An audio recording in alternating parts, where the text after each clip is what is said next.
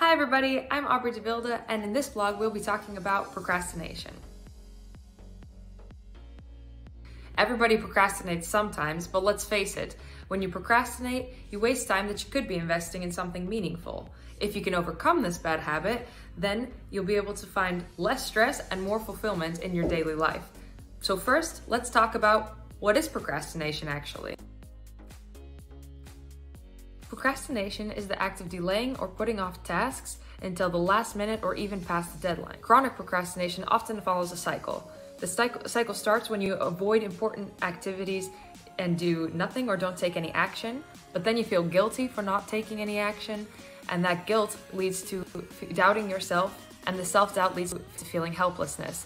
Well, that helplessness takes us back to the beginning of the cycle where you again don't take any action.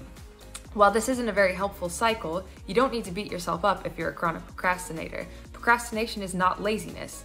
But why do we do it then, and what are the consequences?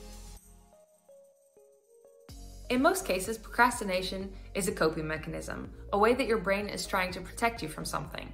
This coping mechanism can be triggered by a lot of different things. For example, a fear of failure or fear of judgment, uncertainty about your own abilities or the desired outcome, pain avoidance if it's a task that you're not looking forward to, or even mental illnesses or disorders such as anxiety, depression, ADHD, and so forth. While procrastinating may relieve pressure at the moment, it's not a good long term solution. It can lead to physical, emotional, and practical consequences. So, how do we break out of this cycle and beat procrastination? Here are some tips. Tip 1 Make it manageable. Break tasks into smaller bite-sized pieces so that you can work with manageable steps and not get overwhelmed. Tip 2. Use techniques and timers. One such technique is the Pomodoro time management technique that states that you should work for 25 minutes and then take a break for 5 minutes. Repeat that 3 to 4 times and take a longer break. Tip number 3.